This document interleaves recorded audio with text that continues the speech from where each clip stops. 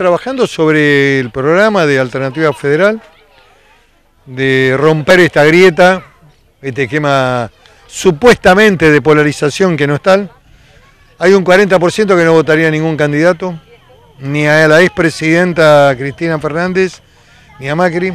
El proceso del presidente Macri culmina en el 2023. Eh, en, términos, digamos, históricos, en términos políticos, eh, eh, el, debate, el debate del futuro político de la Argentina es de los jóvenes, de la generación que va de los 40 a los 50. Confirmado un adelanto de 24 muy temprano, de todos nosotros, de, los, de todos los compañeros. Esta va a ser la fórmula presidencial y vicepresidencial. Macri, Pichetto van a competir este, en esta fórmula. El vice de Macri es Miguel Ángel Pichetto. Hay un problema ahí, que es con el radicalismo, claramente. Bueno, claro. Y bueno. Van a estar eligiendo Trabuco por el duelo que van a tener. Y bueno. Tiro en la cabeza no vale. Yo lo que te dije es igual hay una reunión de Pichetto Sanz. Yo te lo había confirmado. Esa reunión no es menor, porque Sanz es la pata de negociación con Cambiemos.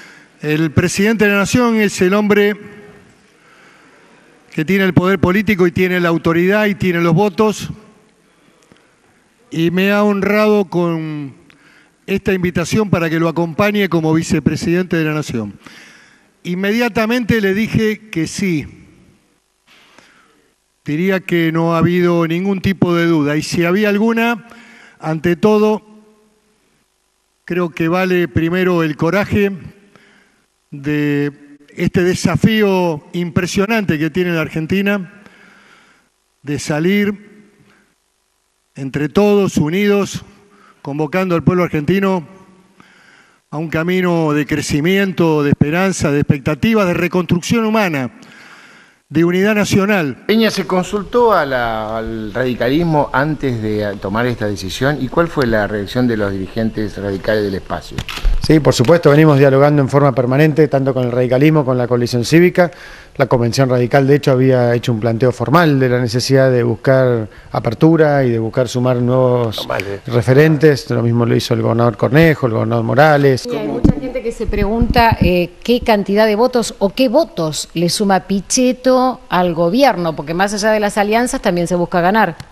Bueno, que no, no creemos necesariamente que las personas solamente se indiquen por, por cuántos votos suman o no, sino también la fórmula, que es lo que representa en términos políticos, en términos de representación. De los últimos 12 años y también fue un, senador de Menem y de Dualde. ¿Cómo puede ser parte de lo nuevo y cómo pueden criticar el populismo siendo que es el jefe de la, fue el jefe de la bancada de Federico? No, que no, no estamos planteando la idea de lo nuevo o lo viejo acá. Acá estamos planteando una decisión de cambiar o no y cualquier dirigente, cualquier argentino que quiera ayudar a ese proceso de transformación es bienvenido, y siempre lo hemos dicho.